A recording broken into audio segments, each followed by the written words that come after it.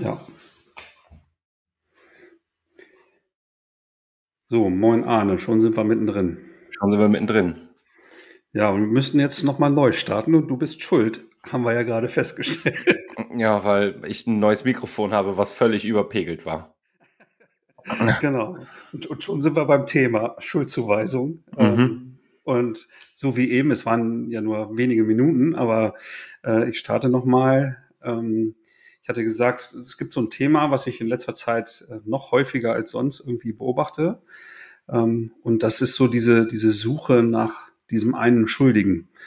Und da wollte ich mit dir einfach mal in den Austausch gehen, um herauszufinden, beobachtest du das auch?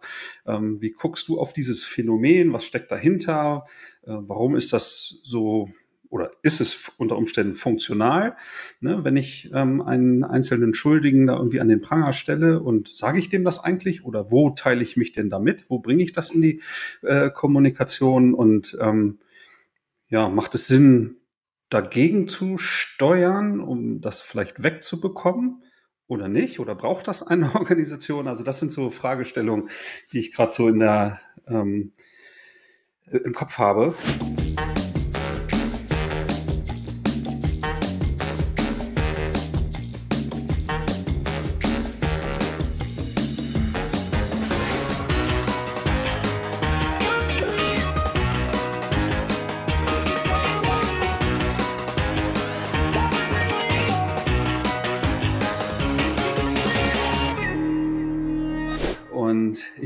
Kann ja mal so ein paar eigene Beobachtungen schildern zum, zum Start, damit, du noch, damit du noch so ein bisschen Futter hast. Ähm, ich habe zum einen so dieses Thema ähm, Rollenkonflikte, Stellvertreterkonflikte im Kopf. Das heißt, so diese Beobachtung, ähm, unterschiedliche Abteilungen, oftmals in so einer aufgetrennten Wertschöpfung, also Einkauf gegen Produktion, so, so ein Beispiel.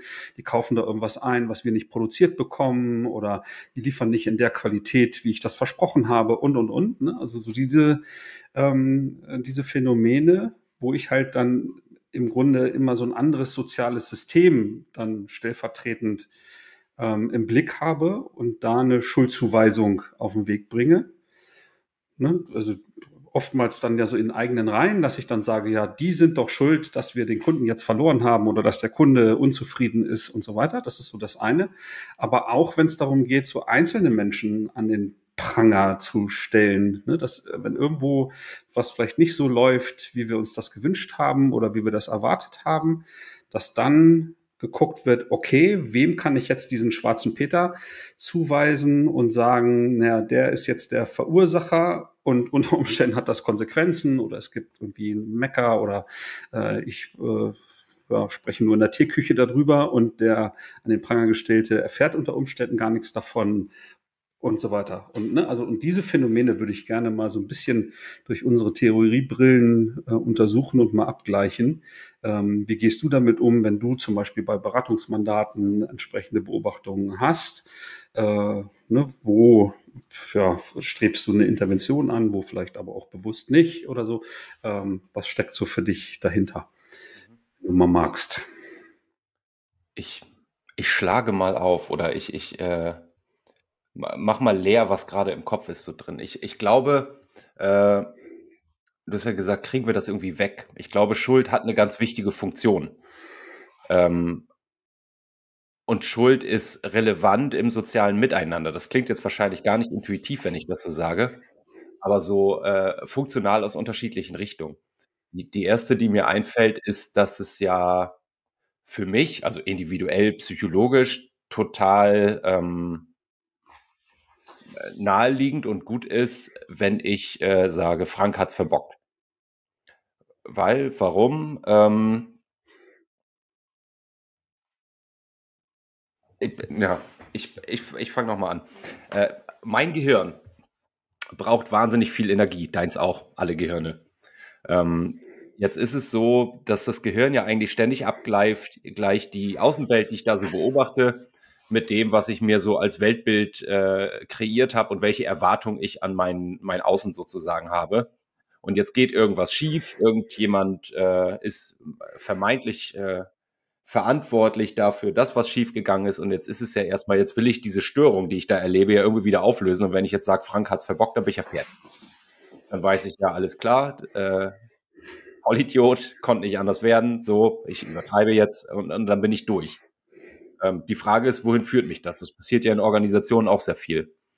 Ich denke ähm, gerade an die großen Skandale, die, die dann auch medial irgendwie sehr stark aufgeblasen werden, Abgasskandal, Diesel, äh, VW und so weiter, wo dann ja auch gesellschaftlich oft die Erwartungen oder von außen, sage ich mal, die Erwartung an die Organisation herangetragen wird. Da muss jetzt aber was passieren. Was wird gemacht? Es rollen Köpfe. Also da wird jetzt ein CEO freigestellt, beurlaubt, rausgeschmissen, vielleicht noch äh, ein paar relevante Leute aus dem Management. Auch das ist ja erstmal eine Lösung. Also wenn wir sagen, da ist eine Kommunikation, die jetzt stattfindet, da ist was schiefgelaufen, äh, jetzt sage ich, okay, wir haben die Schuldigen entdeckt, die sind rausgeschmissen worden, jetzt kann ich mich ja auch nach außen so verkaufen, als wir haben es gelöst. Ja, also wenn ich ähm, wenn ich da jetzt so in unserer Sprache drüber nachdenke äh, und das nochmal zusammenfasse, was du gesagt hast, dann reduziert das ja Komplexität. Absolut, ne? ja. Wenn, wenn ich so diesen, äh, diesen einfachen Weg gehe und sage, naja, da ist jetzt der Schuldige ne, und du hast es bezeichnet als dann bin ich fertig, ne, dann, dann habe ich aus einem komplexen Kommunikationsphänomen unter Umständen eine ganz einfache Ursache gestrickt und hab's erledigt. Ne? Aber ich frage mich, warum Warum ist das so naheliegend? Ist das einfach dieses menschliche Bedürfnis, ähm, Komplexität halt einfach zu reduzieren? Oder ich mache noch mal ein zweites Bild auf. Ist es dieses ähm, dieses etwas angestaubte Bild von Zusammenarbeit von Organisationen aus der BWL, was wir ja durchaus auch immer so als unterschiedliche Blickwinkel äh, bezeichnen, dass so die die Organisation halt irgendwie so eine geölte Maschine ist und der Mensch ist da so Rädchen im Getriebe und der eine hat jetzt irgendwie versagt und dann kann ich dem ja die Schuld geben und tausche den unter Umständen aus und dann wird die Maschine wieder funktionieren. Ist es von beiden etwas oder würdest du so in, in eine bestimmte Richtung da ähm, tendieren von, von diesen beiden Varianten? Beides ist wahr, ne? Also, was ich ja gerade versucht habe aufzumachen, ist, was passiert in meinem Kopf? Ne, ich habe eine Störung erlebt, äh, also da wird eine Erwartung enttäuscht und jetzt sage ich, Frank ist schuld und dann bin ich fertig, dann ist in meinem Kopf wieder Ruhe. Ähm, das, was du jetzt gerade angesprochen hast, also die, die Betriebswirtschaftslehre angewendet auf Organisationen, arbeitet ja durchaus auch mit der äh, Regelung von Verantwortlichkeiten, sage ich mal. Also meistens aufgemalt in Organigrammen, da gibt es dann die unterschiedlichen Abteilungen. Es ist völlig klar, welche Abteilung für welche äh, Aufgabengebiete der Organisation verantwortlich sind. Und wenn da irgendetwas nicht so läuft, wie es soll, dann weiß ich ja, wer äh, ja, verantwortlich ist. Ich könnte es anders formulieren, wer Schuld hat daran. Also ich mache diese Schuld durch diese äh, Organisationsgestaltung ja zurechenbar. Ne, und das kann ich auf Personenebene machen, indem ich sage, der Abteilungsleiter oder jetzt dieser Mensch in der Funktion hat es verbockt, aber eben auch in, auf die Abteilung, auf die Bereiche, auf die Zuständigkeiten, die eben formal organisiert sind. Nur, nur blöd, wenn ich jetzt, sag ich mal, das so in die, in die heutige Zeit katapultiere, ähm, weil vor 50 Jahren, ne, da war das, da war diese Kausalität ja noch viel, viel einfacher greifbar, ne, durch sehr klare Stellenbeschreibungen, durch sehr klare Zuständigkeiten und äh, ja, das war sehr stabil. Ne, über einen längeren Zeitraum auch. Jetzt haben wir dieses VUCA, diese Überraschungsdichte, diese Dynamik, Komplexität, so dass ich ja ähm, ganz oft ähm, auch improvisieren muss oder Leute intuitiv halt irgendwie mit Ideen operieren und es halt immer schwieriger wird, sich halt so an standardisierte Prozesse halt irgendwie zu halten. Und wenn in solchen Konstrukten was schief geht, was greift denn dann? Da, da greift dann wieder, naja, ich, ähm, okay, äh, vermeintlich zuständig ist vielleicht der oder mal gewesen oder so. Also muss der Einzelne jetzt ja irgendwie die Schuld tragen, ähm, dass wir hier jetzt an Grenzen gekommen sind, dass irgendwas halt nicht so äh, funktioniert hat. Und dieses, dieses Strukturproblem, das sich ja inzwischen so nennen wir das ja immer, Wertschöpfung eigentlich nur noch so im Kollektiv äh, betreiben kann und nicht mehr so linear und äh, ähm, ja, abgetrennt äh, voneinander, so dass sich sowohl die Leistung, die hinten rauskommt, für einen Markt oder einen Kunden gar nicht mehr so dem Einzelnen richtig gut zurechnen kann und im Umkehrschluss ja die Schuld, wenn ich es jetzt dann immer noch so nenne, äh, halt auch nicht. Also wer ist jetzt tatsächlich die, die Ursache, damit nicht, äh, also damit nicht das Ergebnis rausgekommen ist, äh, was ich eigentlich äh, erhoffen wollte, äh, erhofft habe. So, aber was, wenn wir das noch mal tiefer legen, was ist so der, der Gedankengang, warum das so naheliegend ist? Ist das eine angestaubte Haltung von früher, die noch so äh, praktiziert wird, oder ist das in uns Menschen halt irgendwie drin? Oder ne? also das ist so das, ne, da, da bin ich zu wenig, ähm, der habe ich zu wenig theoretische Substanz, um, um da die die, die Herkunft irgendwie für mich klar zu bekommen. Ne? Ich meine, ich kann auch damit leben, wenn wir sagen, es ist von allem halt so, so ein bisschen und es gibt da natürlich nicht die Wahrheit. Ne? Aber ich versuche ja im Grunde diesem, diese, diesem Phänomen ein Stück weit auf die Schliche zu kommen, um dann äh, für mich das so handhabbar zu kriegen, wie ich dann auch in Beratungsmandaten beispielsweise damit umgehe. Ne? Also äh, Finger in die Wunde, benenne ich das? Ne? Warum habt ihr jetzt dem einen äh, da die Schuld gegeben oder warum ist da jetzt jemand entlassen worden oder ähm, ausgegrenzt worden oder ähnliches. Ne? Wenn wir doch davon ausgehen, dass, dass Menschen,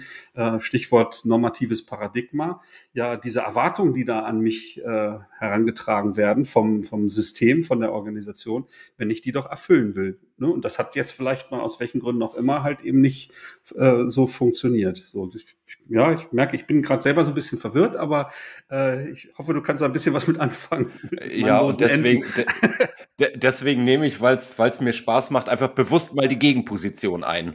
Ja. Also nicht, dass das die ist, die ich vertrete, sondern du hast jetzt gerade normatives Paradigma, Verhältnisse prägen Verhalten. Äh, wenn ich das auf die Spitze treibe, dann sage ich, eigentlich ist der Mensch gar nicht, ich, ich übertreibe mal maßlos, ne? Eigener Wille und eigene Verantwortung ist gar nicht, weil es ist immer so die, äh, die Struktur und die Umgebung, die Menschen dazu bringt, dass sie das tun, was sie tun. Ähm, aus der Verantwortung will ich den Menschen aber nicht rausnehmen. Ne? Weil jeder von uns letztendlich äh, verantwortlich ist für sein Tun und sein Handeln. Vielleicht kommen wir tiefer rein, wenn wir, wenn wir die Idee von Schuld ein bisschen weiter auseinandernehmen. Also wir haben jetzt, glaube ich, ohne dass wir es äh, besprochen haben, gehen wir beide davon aus, irgendwas läuft nicht so, wie es laufen soll und jetzt brauche ich irgendwie einen Erklärungsansatz. Ne, ich glaube, Schuld hat auch ein, eine ganz wichtige soziale Funktion, die uns das Miteinander erleichtert.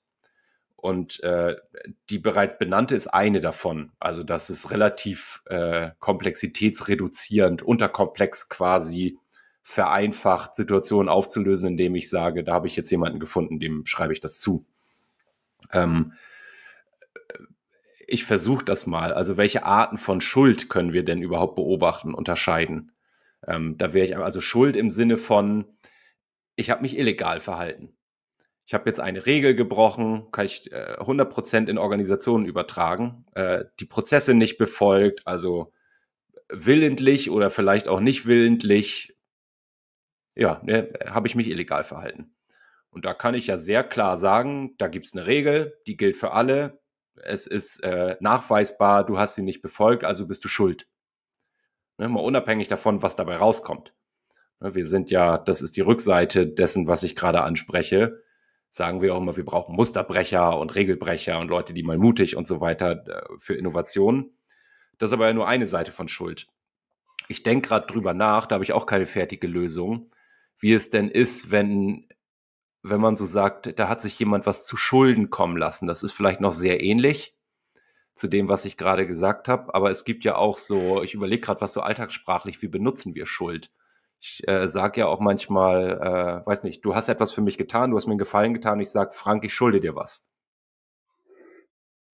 Und da komme ich dahin, dass ich glaube, dieses, äh, dieser Begriff Schuld oder die Idee vor Schuld hat durchaus einen sozialen Mechanismus, weil es irgendwie so ein, so ein Gefühl von Ausgleich herstellt an Stellen, die wichtig sind, um auch so einen sozialen Kit herzustellen.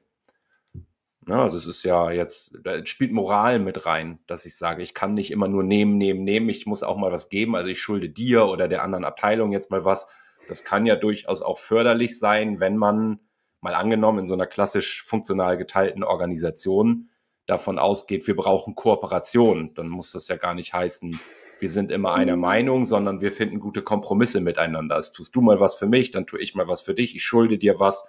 Dadurch, dass es dieses Gefühl von der Fachausdruck, glaube ich, Reziprozität irgendwie gibt, äh, funktioniert es dann am Ende doch ganz gut. Also das meine ich mit Schuld kann auch durchaus funktional sein und muss gar nicht immer Fingerpointing bedeuten. Hey, jetzt hatte ich vorhin so diesen überspitzten Blickwinkel der BWL irgendwie beschrieben. Ich könnte jetzt ja auch ähm, so, so im, im Rahmen meiner Möglichkeiten äh, auch so dieses, dieses menschenzentrierte, dieses psychologische anwenden und dann zu der Erkenntnis kommen, oh, äh, ne, da, da ist irgendwie ähm, ja nicht das gewünschte Ergebnis irgendwie passiert. Ähm, was braucht denn der Einzelne oder die Einzelne, um daraus zu lernen, um sich da zu verbessern, ne, damit das äh, nicht wieder so passiert, dass in Zukunft die Erwartungen äh, dann erfüllt werden. Ne? Also da bin ich ja dann eher, also das soll jetzt gar nicht so ein Gamepool, es soll einfach nur eine Alternative der Denkweise äh, aufzeichnen, wo, äh, aufzeigen, wo dann unter Umständen eher Personalentwicklungsmaßnahmen oder Coaching oder was auch immer vielleicht auf den Weg gebracht werden und gar nicht so diese Maßregelung, ne, diese, dieser Gedanke der, der BWL, Rädchen im Getriebe und jetzt anderes Rädchen, ne, weil der eine bringt's halt nicht. Ne? Das, und schon bin ich in einer ganz anderen Diskussion halt irgendwie drin. Ich bin natürlich immer noch bei dem einzelnen Menschen, äh, ne, aber äh, komme unter Umständen zu ganz anderen Erkenntnissen. Ne? Also das wäre so eine Gegenüberstellung. Und das, was wir immer so dann auf den Weg bringen, haben wir beide ja schon so formuliert. Ne? Wenn wir dann im, im Grunde systemisch oder systemtheoretisch ähm, auf diese Schuldzuweisung dann gucken, dann halt die Frage zu stellen, okay, ne, welche Verhältnisse, welche Rahmenbedingungen, welche Spielregeln, welche, äh, was auch immer, haben den Menschen jetzt sozusagen dahin gebracht oder dazu gebracht, äh, sich tatsächlich, so wie du es eben genannt hast, illegal zu verhalten. Ähm, oder wenn das gar, unter Umständen vielleicht gar nicht ähm, illegal ist, dann sich in bestimmten Rahmenbedingungen halt so zu verhalten, dass trotzdem irgendwie was schiefgegangen ist und dann äh, äh, ja dieses Fingerpointing unter Umständen wieder anfängt, weil nicht jeder darauf trainiert ist natürlich äh, diese diese diese Strukturfrage zu stellen. Ne? Also welche Kommunikationswege, welche Regeln, welche Praktiken oder so haben jetzt dazu geführt, äh, dass es völlig unausweichlich war, dass ich jetzt genau dieses Verhalten äh, beobachtet habe, bei, bei allem Bewusstsein dafür, ähm, ja, Verhältnisse prägen Verhalten, aber ich bin als Mensch natürlich auch irgendwie genetisch geprägt oder äh, ne, habe da von, von der Natur einiges mitbekommen oder so. Da streiten sich ja dann auch immer die Soziologen und die Psychologen, wie, wie viel ist denn das? Ne? Und wer hat da jetzt den höheren Einfluss, das System oder der Mensch in, in seinem Ursprung und, und, und. Ne? Das ist uns ja bewusst. Ne? Aber wir glauben ja schon daran, dass der Einfluss im Grunde meiner Umgebung da schon sehr, sehr hohen Anteil hat ähm, ne, dass wir uns halt in den bestimmten Rahmenbedingungen, zum Beispiel im Kontext Arbeit, äh, halt im Rahmen unserer sozialen Rollen, die wir da ja verkörpern, halt auf eine bestimmte Art und Weise halt einfach zeigen und verhalten. Und, ne? und wenn das den Erwartungen, ob die nun implizit oder explizit äh, sind, das, das kann ja beides sein, ne? aber wenn ich dagegen irgendwie verstoße, ne, dass dann trotzdem äh, die, dieses Phänomen der Schuldzuweisung äh, da halt noch so verbreitet ist. Ne? Da würde ich mir natürlich wünschen, dass da viel mehr dann als Kollektiv, was können wir denn tun, dass wir das in unserer Gemeinschaft in Zukunft vermeiden können, ne? dass solche Dinge dann irgendwie passieren. Das wäre so mein, mein Wunsch, aber ne, das, äh, ich höre gerade, naja, naja ne, dieses, ähm, die, diese Funktionalität der Schuldzuweisung, damit das so entlastend ist und komplexitätsreduzierend, äh, das kann schon auch hilfreich sein, ne, weil dann brauche ich mich für den Moment dann auch nicht darauf einzulassen. Ne, das ist vielleicht dann auch ein Schutz davor, dass dann viel mehr schief läuft dann hinterher oder wirkliche Persönlichkeitskonflikte entstehen und alle dann zerstritten sind, dann ist es vielleicht für den Moment dann am besten im Sinne der Organisation, also des Systems, dass einer verurteilt wird und dann können wir wieder zur Tagesordnung übergehen. So, ne? Aber das kann ich auf so unterschiedliche Art und Weisen betrachten. Das ist so das, was ich, ähm, was ich meine, ne? dass, dass es die Wahrheit da ja sowieso nicht zu geben scheint. Ja, äh, ich glaube, wichtig, wichtig ist, ähm, wie ich die, ich formuliere das nochmal so, die Idee von Schuld benutze und welche Ableitung ich daraus treffe. Ähm, das hast du gerade schon, lass, lass uns mal theoretischer drauf gucken. Jede Organisation hat drei Seiten. Ähm, die formelle, die informelle und die Schauseite. Ne, die Schauseite habe ich vorhin schon angesprochen. Da ist jetzt, da gerät jetzt irgendein Skandal an die Öffentlichkeit und jetzt muss ich auch nach außen zeigen, das hat Konsequenzen, mhm. da werden Personen ausgetauscht, das hat eine Funktionalität. Völlig klar. Ob sich dadurch äh, im Inneren, also an den betrieblichen Abläufen, wirklich etwas verändert, keine Ahnung. Aber ich habe erstmal diese, äh, dieses Gefühl von, na, da, da schwebt ja auch sowas wie Gerechtigkeit äh, drin. Ne, da hat jemand sich was zu Schulden kommen lassen. Ja, jetzt kostet das ihn seinen Job. Ne, das finden wir dann offensichtlich gerecht. Ähm, die formelle Seite habe ich auch gerade versucht anzusprechen. Also es gibt ein Regelwerk in Organisationen. Das braucht es ja auch. Also irgendwo so die, die Leitplanken auf der Autobahn, so die, die Rahmenbedingungen, innerhalb dessen sich dann äh, Organisation abspielen kann. Und wenn ich, wenn ich jetzt jemanden habe, der verstößt dagegen, dann kann ich das ja auch sanktionieren. Ob ich das im Zweifel immer mache, ist eine andere Frage. Aber auch das stellt ja eine Ordnung her in der Organisation. Das ne, schafft ja Orientierung. Und wir haben die dritte Seite, die informale Seite oder die informelle Seite, ähm, wo ja auch Schuld dann eher so einen moralischen Aspekt hat. Also der sich in Kultur niederschlägt. Was ist hier eigentlich adäquat, normal, wünschenswert, statthaft und so weiter? Wo ich gegebenenfalls auch sozial sanktioniert werde, wenn ich mich in gewisser Weise verhalte. Ähm, auch dafür ist Schuld ja wichtig. Also es gibt, ich habe eben das, den Begriff sozialen Kit benutzt. Es hat schon, damit die Organisation, ich will jetzt nicht zu theoretisch werden, also System, Umweltgrenze sich immer wieder nach außen abgrenzt. Es braucht schon so eine Definition von Schuld auf allen drei Ebenen, damit Organisation funktioniert. Die zweite Idee, die ich gerade hatte, als du, als du gesprochen hast, war, ähm, dieses, du hast vorhin schon eingebracht, wir reden über komplexe Wertschöpfung, über komplexe Arbeit, komplexe Probleme. Und wer uns in anderen Episoden äh, zuhört, der hört oft, es geht viel mehr um das Wer als um das Wie. Und wenn ich jetzt so jemanden habe, ein Talent, sagt Gerhard Wohland dann ja, der sich äh, von einem Problem angezogen fühlt und ähm, die Funktion des Unternehmers übernimmt, ich meine nicht die juristische Funktion, sondern jemand, der sagt, ich gehe ins Risiko und das als Angestellter ist das Risiko vielleicht der Verlust von Reputation oder wenn es schief geht, dann verbaue ich mir meine Karriere. Auch das ist ja, wenn ich so will, irgendwo ein Risiko. Und da prescht jetzt jemand vor und sagt auch vielleicht gegen die Stimmen von anderen, ähm, gerade Innovation ist ja oft ein gegen den Strom schwimmen, nehme ich dieses Risiko auf mich äh, und versuche jetzt dies, dieses Ding zu drehen. Und auch da, wenn wir im Roten sind, ich kann mich ja irren. So, und wenn ich bei der Wehrfrage bin, das ist jetzt ein sehr hartes Urteil wahrscheinlich, was ich fälle, und das geht schief, ja, natürlich hat derjenige dann auch äh, in gewisser Weise Schuld daran, wenn es so sehr am Talent und am Können liegt.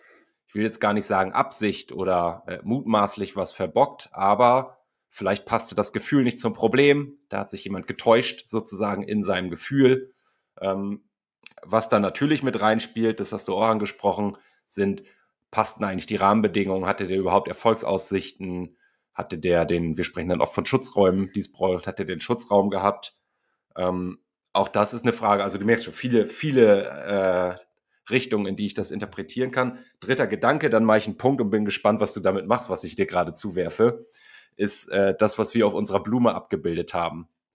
Also äh, Systemtheorie, Entscheidungsprämissen, Personal, äh, Programme, und Kommunikationswege. Danke. Ich wollte gerade sagen Strukturen. Nee, Kommunikationswege ist der Fachausdruck, genau. Also jetzt beobachte ich da irgendwie, ein, da ist ein Schaden entstanden und wir waren ja eingangs bei Müller ist schuld.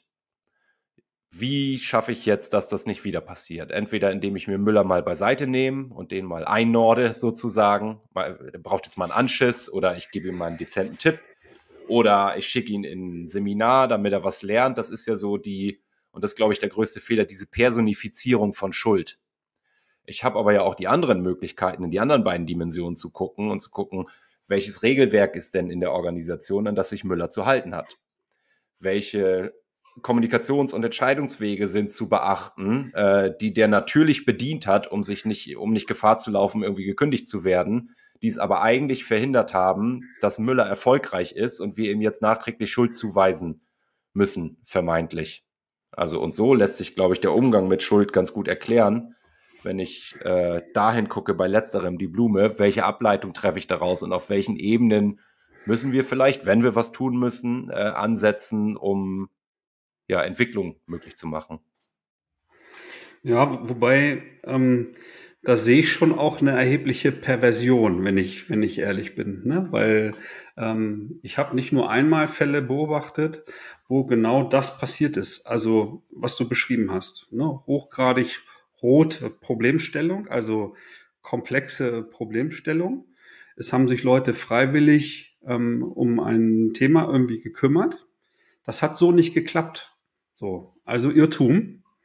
Äh, bestimmte Grundannahmen waren dann vielleicht doch nicht so, bestimmte Hypothesen konnten dann in unserer Sprache widerlegt werden. Aber der Schutzraum war offensichtlich nicht stark genug, so dass es richtig Konsequenzen gab. Mhm. Ne? Da ist schon auch mal so in meiner Beobachtung jemand tatsächlich entlassen worden. So. Was heißt denn das jetzt als Lerneffekt für die Organisation? Da wird dazu eingeladen, an einem neuen Thema zu arbeiten. Das klappt nicht. Die Konsequenz ist, du wirst vom Hof gejagt. Jetzt beobachte ich das so als die restlichen Mitspieler in der Organisation. Was passiert jetzt ein halbes Jahr später, wenn wieder zu so einem Thema eingeladen wird? Da mache ich doch nicht mit. Nix. Das, ja, genau. das überhaupt nicht. Ne, so und das ist die Perversion, äh, die die ich meine, äh, ne, weil da genau die Spielregeln implizit mich davon abhalten, dann genau an solchen Themen dann irgendwie mitzumachen. Ich will im Leben nicht machen. Ich mache hier meinen, meinen Job, dafür werde ich bezahlt, aber jetzt dann vielleicht dann so äh, experimentell oder an irgendwelchen Innovationen da irgendwie mitzumachen, wenn das die drohende Konsequenz ist, nee, da verbrenne ich mir doch nicht die Finger. Ne? Und das finde ich so schade, äh, dass das dann eben nicht gesehen wird, welche Auswirkungen solche, ich meine, jetzt könnte man äh, systemtheoretisch oder entlang unserer Blume sagen, naja, das war jetzt die Entscheidungsprämisse Personal die da von den Verantwortlichen halt irgendwie genutzt wurde, um zu sagen, naja, der eine hat's nicht gerockt, äh, den, den stellen wir jetzt irgendwie frei.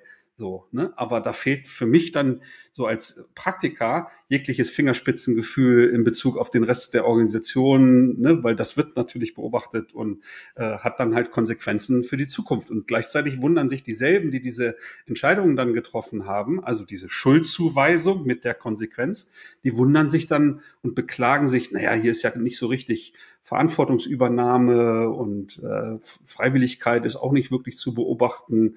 Äh, so, ne? Also da entsteht dann wieder ein Menschenbild. Ne? Das, das könnten wir jetzt auch wieder noch als Exkurs, glaube ich, machen wir mal nicht, aber ähm, haben wir hier schon häufiger thematisiert, ne, wo die, die Verantwortlichen sich dann bestätigt fühlen, indem sie dann sehr restriktiv sind, sehr ähm, sehr viel steuern, weil sie sagen, naja, äh, mit der individuellen Verantwortungsübernahme ist es ja eh nicht so gut bestellt bei den Leuten, ne? die muss ich ja zum Jagen tragen, äh, so und so bestätigt sich dann dieser Kreislauf, ne? was total schade ist äh, und durch diesen, diesen Ursprung der Schuldzuweisung äh, bei fehlendem Schutzraum dann vielleicht passiert. Ja, da, da bildet sich dann das, was wir eine kulturelle Grundannahme nennen. Mhm.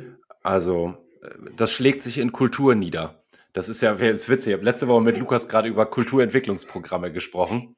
Ähm, das ist so richtig Kulturentwicklungsprogramm, weil sich die Organisation ja an die Entscheidung erinnert und sich um diese Entscheidung herum neue Informalität ausbildet. Und das ist ja das, also dass diese kulturelle Grundannahme könnte lauten, mach dich lieber nicht angreifbar. So, und ähm, was ist, und das beobachte ich häufig in Organisationen, ähm, dass da auf der kommunikativen Ebene Paradoxien vermittelt werden. Also sei innovativ, verstoß aber gar keinen Fall gegen, auf gar keinen Fall gegen die Richtlinien, Vorgaben und das, was strategisch irgendwie so als Handlungsfeld definiert ist.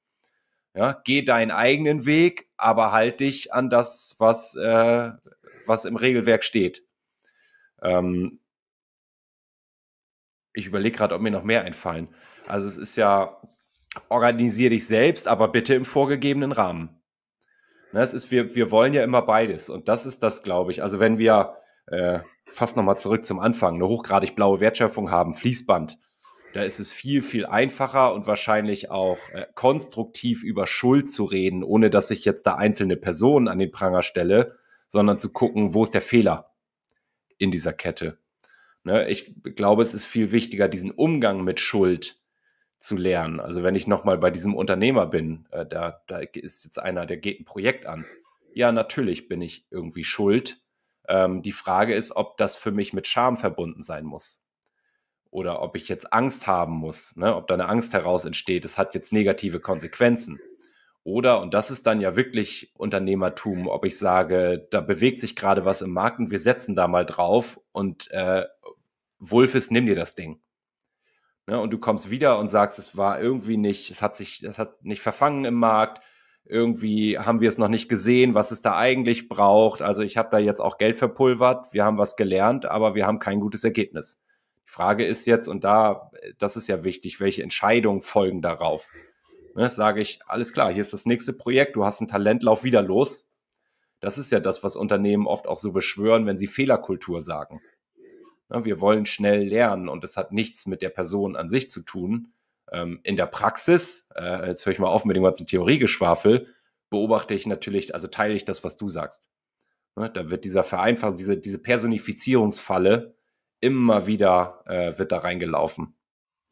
Naja, jetzt, bist du selber auch äh, so in die in, in diesem blauen Anteil der Wertschöpfung äh, dann mal sprachlich rüber gesprungen. Da würde ich noch mal kurz hingucken wollen, weil da kann ich das ja sogar nachvollziehen. Also wenn ich klar durch strikte Arbeitsteilung, durch strikte Prozesse ähm, sozusagen die Wertschöpfung beschreiben kann und so diese Routine dann auch im Alltag dann anordnen kann. Das, das kann ich ja so formulieren.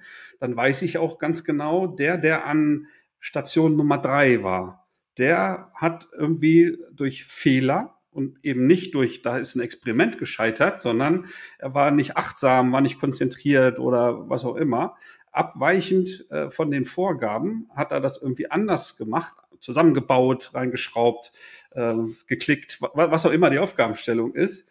Äh, und, und schon äh, ist die ganze Wertschöpfungskette ähm, fehleranfällig da kann ich schon dann äh, den, den Einzelnen mir mal greifen und sagen, was ist denn da los? Jetzt kann ich das auf eine empathische Art und Weise machen und sagen, mein Gott, ne, also hast du vielleicht Stress äh, zu Hause oder was? Oder warum passieren dir solche Sachen?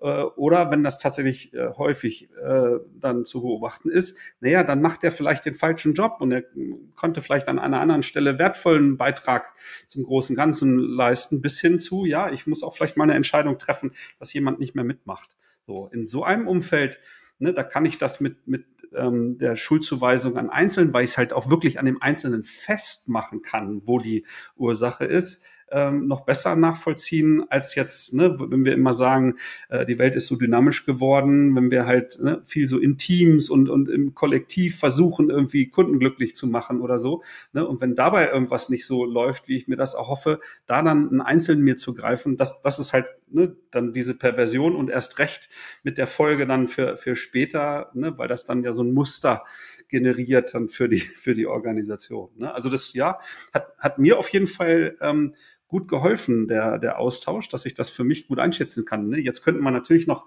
ähm, abschließend vielleicht sagen, naja, wenn wir sowas beobachten, ähm, was bieten wir denn an, ähm, an Möglichkeiten zum Beispiel, äh, um aus solchen Situationen vielleicht anders zu lernen. Ne? Also da fällt mir natürlich äh, sowas ein wie Reflexionsräume zu schaffen, Beispiel Retrospektive oder so, ne? um halt in diesem Kollektiv zu überlegen, okay, wie hätten wir dem vorbeugen können, ne? was lernen wir jetzt aus dieser Situation, ne? um den Gedanken so ein bisschen mehr auf, auf System und, und die Rahmenbedingungen zu lenken und weg von dem Einzelnen. Ne? Das ist so jetzt ähm, so meine meine Sicht. Weiß nicht, vielleicht kannst du noch was ergänzen, aber, aber ich glaube, das ist schon ein ganz, eine ganz runde Erkenntnis, die wir zusammen Ja, ich, haben. ich bin noch nicht ganz fertig, weil ich das Gefühl habe, wir haben noch nicht klar genug darüber gesprochen, was ist eigentlich unsere Idee oder wie gehen wir damit um.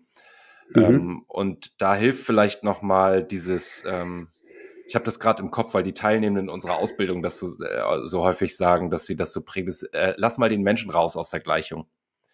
Also denk mal drüber nach, würde jeder andere oder die allermeisten anderen in der Position oder in der Rolle oder in der Situation vielleicht auch äh, sich genauso verhalten? Und wenn ja, warum? Weil dann bin ich ganz schnell, jetzt komme ich wieder auf die Blume. Welche Programme haben wir? Also welche Managementpraktiken, welche Methoden werden benutzt? Wie sind Kommunikations- und Entscheidungswege? Warum ist es quasi nur die logische Konsequenz, dass das dort passiert. Das kann ich runterdeklinieren bis auf den äh, Abgasskandal sozusagen, wenn ich, wenn ich mir das, äh, die Branche angucke und so weiter. Welche, welche Zwänge von außen sind dort auszuhalten? Warum scheint das eine Lösung zu sein, was das passiert?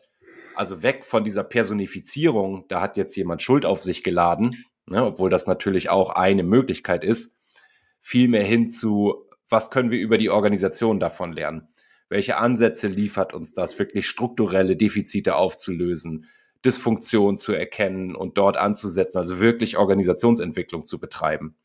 Und das ist, glaube ich, der konstruktive Umgang mit Schuld bei aller Funktionalität, die das Sozial im Miteinander hat und so weiter, der für, für die Organisationsentwicklung relevant ist, weil, und das jetzt schließt sich dann auch für mich der Kreis, ich auch beobachte, in Organisationen wird immer personifiziert.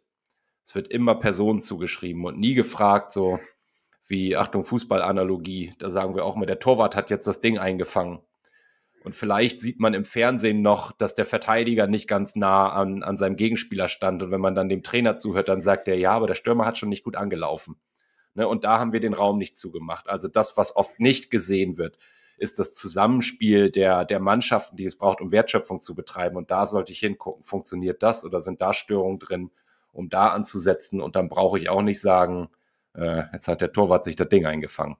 Schuld da war ich dann in der Tat so, so ein bisschen äh, zu schnell nach vorne galoppiert. Natürlich ist es hilfreich, so die Navigationshilfen äh, zu nutzen, ne, die wir so im Repertoire haben als Organisationsentwickler, die wir natürlich auch vermitteln als Wissensvermittlung in, in unserer Org-Coach-Ausbildung als Beispiel, ne, um halt diese unterschiedlichen Blickwinkel eigentlich äh, ähm, ähm zu erlernen und, und für sich nutzbar zu bekommen. Ne? Und wir gehen ja oftmals dann auch so weit, dass wir förmlich von Verantwortlichen in der Organisation heutzutage erwarten, dass sie sich halt mit ähm, ja, weiteren Blickwinkeln außer dieser eine der BWL, ne, wo viele sich ja dann so aufgrund der eigenen Ausbildung oder der, der eigenen Sozialisierung halt am wohlsten fühlen, da auch mal mit, mit neuen Blickwinkeln auseinanderzusetzen, um halt Ne? Also andere Erklärungsansätze für, ne, wenn da irgendwas schiefläuft als Beispiel, ähm, dann zu haben, um halt Alternativen äh, im Umgang dann auch zu bekommen. Ne? Und das ist genau das, was du gerade äh, beschrieben hast, ja. Genau, also das war dann so der, der kleine Werbeblock. Ne? Also im, im September startet wieder ähm, die nächste Staffel unserer Ausbildung. Ne? Wer da jetzt nachdenklich geworden ist und vielleicht noch mal ein bisschen näher verstehen möchte, wo, wovon reden die Kurswechseler eigentlich, wenn sie von Navigationshilfen und von äh, lass doch mal den Mensch raus aus der Beobachtung und solchen Dingen sprechen, dann ja, melde dich gerne bei uns. Äh, du bist herzlich willkommen. Ja, Arne, ja, danke für den Austausch. Äh, äh, das habe ich eben schon mal angesetzt, aber ne, mir hat das tatsächlich nochmal geholfen, äh, so ähm, eigene Gedanken nochmal loswerden zu können, aber auch deine Blickwinkel zu verstehen und zu hören. Ähm, wir hoffen natürlich, dass wir für euch Hörer und Hörerinnen da auch brauchbares Gesabbel absondern konnten, äh, wenn ihr da abweichende Sichtweisen habt. Ne? Auch da meldet euch gerne oder kommentiert bei LinkedIn, wo wir ja auf die Episode immer hinweisen, gerne oder nennt uns auch Quellen, wo wir da noch äh, weitere für uns lehrreiche Inhalte vielleicht finden oder. Wir sind ja auch immer neugierig, neue ähm, Erfahrungswerte zu sammeln, neues Wissen aufzubauen. Ja, Arne, bis bald. Vielen Dank. Danke dir. Bis dann. Ciao.